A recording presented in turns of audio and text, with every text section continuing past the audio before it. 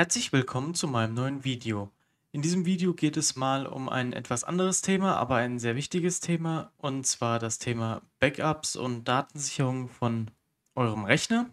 Backups und Datensicherung sind leider etwas, was viele gerne vernachlässigen, gar nicht machen, nur sehr unregelmäßig machen. Deswegen möchte ich euch hier in diesem Video jetzt zeigen, wie ihr komplett kostenlos eine Datensicherung von eurem Rechner einrichten könnt, wie ihr eben die Sicherung einrichtet, wie ihr einzelne Dateien wiederherstellen könnt oder wie ihr eben auch einen ganzen, eine ganze Festplatte, zum Beispiel eben das Betriebssystem, wiederherstellen könnt. Also kommen wir kurz zur Software. Ich benutze jetzt hier die Software Veeam Agent für Microsoft Windows. Das ist eine kostenlose Software. Es gibt diese Software natürlich auch in einer bezahlten Version. Da habt ihr dann noch mehr Features aber die kostenlose Variante reicht für die meisten Anwendungsfälle vollkommen aus. Für die Erstellung von Backups gibt es ja prinzipiell sehr, sehr viele Softwaren, kostenlose, kostenpflichtige. Windows selber bietet ja auch Möglichkeiten an, Backups zu erstellen. Ich will gar nicht sagen, dass die eine Lösung jetzt schlechter oder besser ist als die andere. Ich mache meine Backups aber halt schon seit einigen Jahren mit Veeam habe damit sehr gute Erfahrungen gemacht, deswegen zeige ich euch das jetzt hier. Als nächstes dann jetzt noch kurz zum Sicherungsziel. Ihr müsst natürlich ein entsprechendes Laufwerk, eine Festplatte, ein Speichermedium zur Verfügung haben, wo ihr die Backups auch drauf sichern könnt. Und dieses Medium sollte zum einen natürlich groß genug sein. Ihr könnt, das zeige ich euch dann später, wie das genau funktioniert.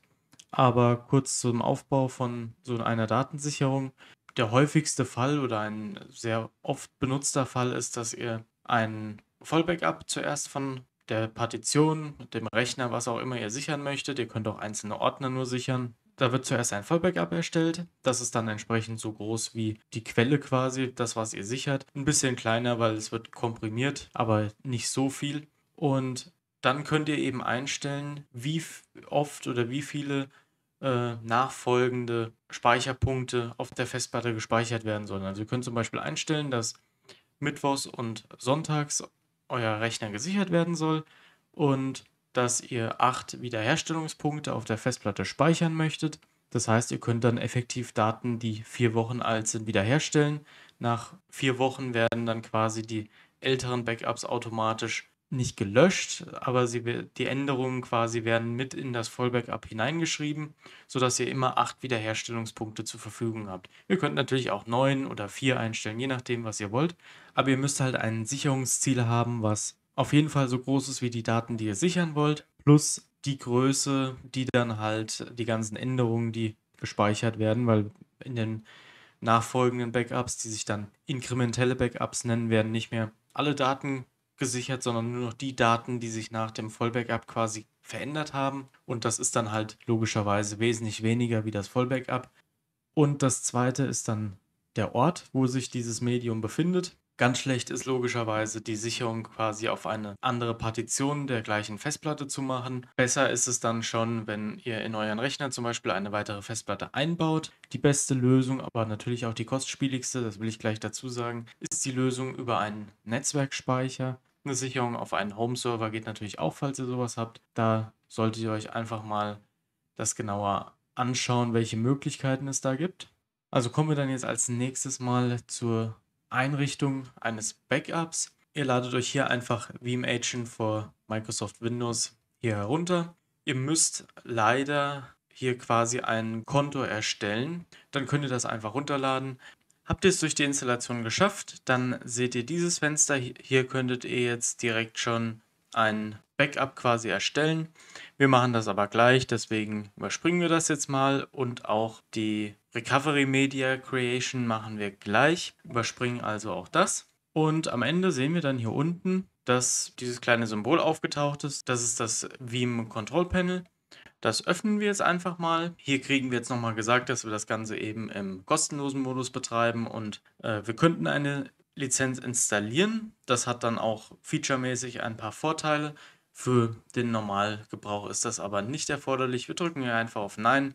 Diese Meldung kommt dann auch nicht wieder. Um dann jetzt hier einen neuen Job anzulegen, gehen wir dann jetzt hier oben mal auf die vier Striche und sagen Add New Job. Auf der ersten Seite könnt ihr einen Namen eingeben und hier könnt ihr dann jetzt festlegen, was ihr sichern möchtet. Ihr könnt entweder direkt den ganzen Computer sichern, könntet sogar USB-Festplatten mit einschließen. Ihr könnt hier manuell auswählen, welche Volumen ihr sichern wollt oder ihr könntet sogar hier unten sagen, ich möchte nur bestimmte Ordner gesichert haben. Ich wähle jetzt mal das hier aus, das wird wahrscheinlich der häufigste Anwendungsfall sein, wenn ihr jetzt zum Beispiel einfach nur das C-Laufwerk sichern wollt. Und hier auf der nächsten Seite kriegt ihr jetzt alle Festplatten angezeigt. Jetzt habe ich nochmal fix eine externe Festplatte angeschlossen, die wird dann hier auch angezeigt. Ich möchte jetzt hier das komplette Betriebssystem gesichert haben, also mache ich hier den Haken bei Operating System. Dann wird automatisch schon die C-Partition ausgewählt. Auf die externe Festplatte möchte ich dann jetzt gleich meine Backups sichern. Die wähle ich dementsprechend nicht an. Klicke auf Next und dann kann ich hier jetzt auswählen, wo ich meine Backups hingespeichert haben möchte. Lokal wäre dann externe Festplatte oder eben eine interne Festplatte. Ein Shared Folder hättet ihr dann, wenn ihr zum Beispiel einen Netzwerkspeicher habt. In meinem Fall habe ich jetzt hier eine externe Festplatte. Ich wähle jetzt hier also lokales Storage aus, habe dann hier meine externe Festplatte und können jetzt hier noch den Zielort bzw. den Zielordner auf der Festplatte ändern. Und hier unten könnt ihr jetzt eben einstellen, wie viele Wiederherstellungspunkte auf der Festplatte gespeichert werden sollen. Es ist so ein bisschen vom Wortlaut doof gemacht, dass hier eben dann sieben Tage steht. Wenn ihr jeden Tag ein Backup macht, dann habt ihr logischerweise für sieben Tage einen Wiederherstellungspunkt. Wenn ihr jetzt aber zum Beispiel, wie ich das vorhin mal gesagt habe, Mittwoch und Sonntag nur ein Backup macht, dann werden nur diese beiden Tage hier quasi gezählt. Steht ja auch hier hinten, dass Tage, wo kein Backup ausgeführt wird, hier nicht berücksichtigt werden. Das heißt, es ist effektiv die Anzahl der Wiederherstellungspunkte, die auf der Festplatte behalten werden.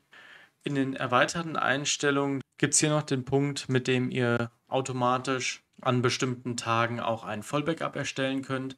Das inkrementelle Backup hat den Vorteil, dass es eben deutlich weniger Speicherplatz bedarf und auch schneller geht, hat allerdings den Nachteil, wenn irgendwo in dieser Backup-Kette mal ein Backup kaputt ist, insbesondere das Vollbackup, dann sind auch die inkrementellen Backups nicht mehr zu benutzen. Daher kann es auch Vorteile haben, ab und zu mal ein Vollbackup zu machen. Das könntet ihr hier einstellen.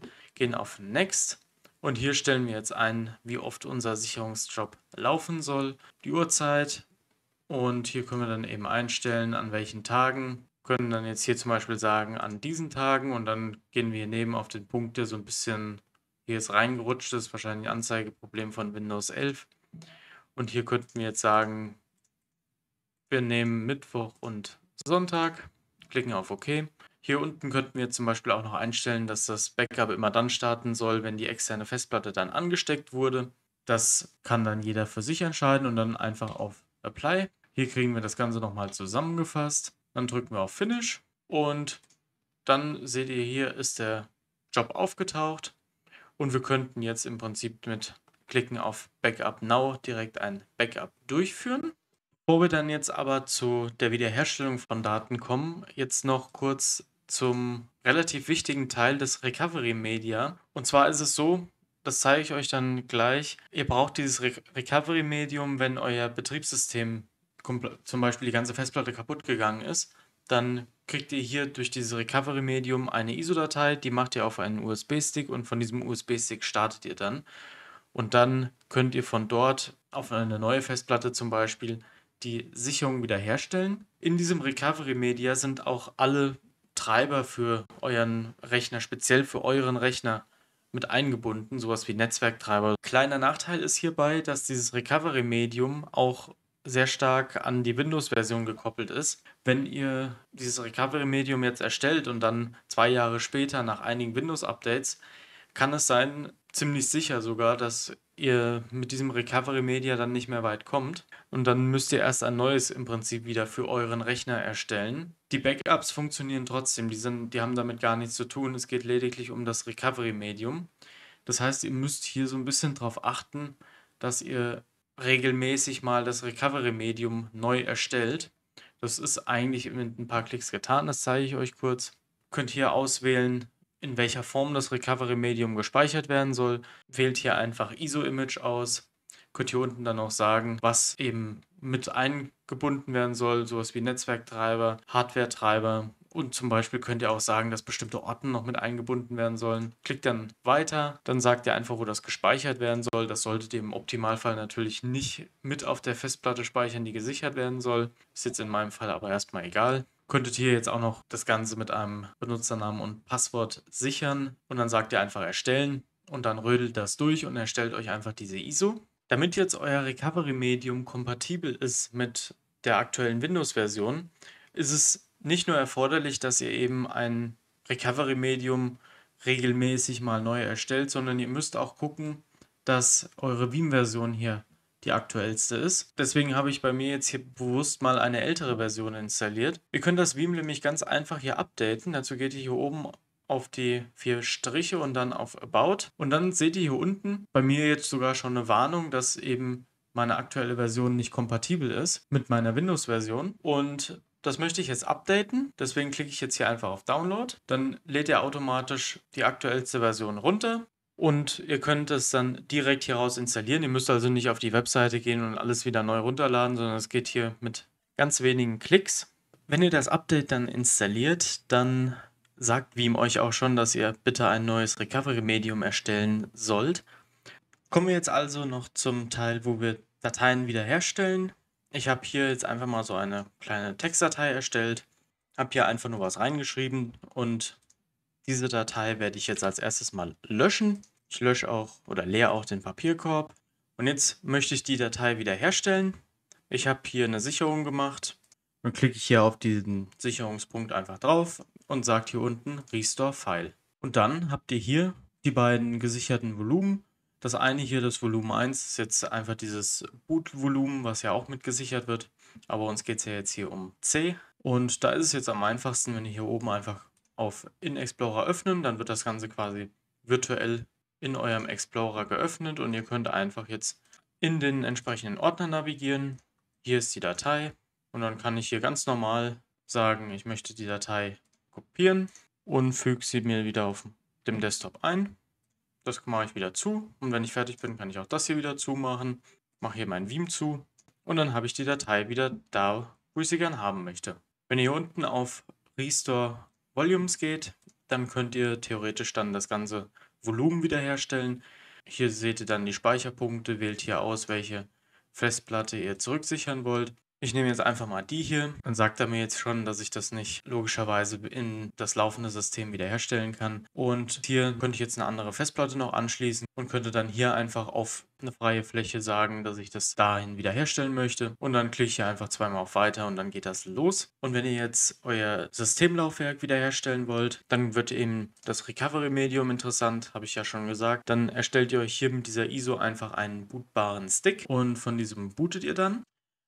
Habt ihr dann von entsprechendem USB-Stick gebootet, dann seht ihr zuerst diese Übersicht. Wir wollen jetzt hier Daten wiederherstellen, benutzen also die ganz normale Wiederherstellung. Dann sucht er jetzt hier schon automatisch nach Backup-Dateien. In meinem Fall hier hat er jetzt sogar schon automatisch das entsprechende Backup gefunden. Sollte er es nicht von alleine gefunden haben, dann könnt ihr das hier einfach suchen. Wenn ihr das Ganze auf einem Netzwerkspeicher habt, benutzt natürlich hier unten die äh, Option Network Storage. Hier seht ihr dann die Wiederherstellungspunkte. Ich habe jetzt hier nur einen, bei euch wären das dann möglicherweise mehrere. Und dann könnt ihr ja eben auch sagen, ob ihr einzelne Volumen, den ganzen Computer oder das komplett manuell machen wollt. Im komplett manuellen Modus könnt ihr dann für jede einzelne Festplatte sagen, wo ihr sie auf dem Ziel dann haben wollt. Und dann klickt ihr einfach noch zweimal auf Next und dann ist das Ganze auch schon fertig.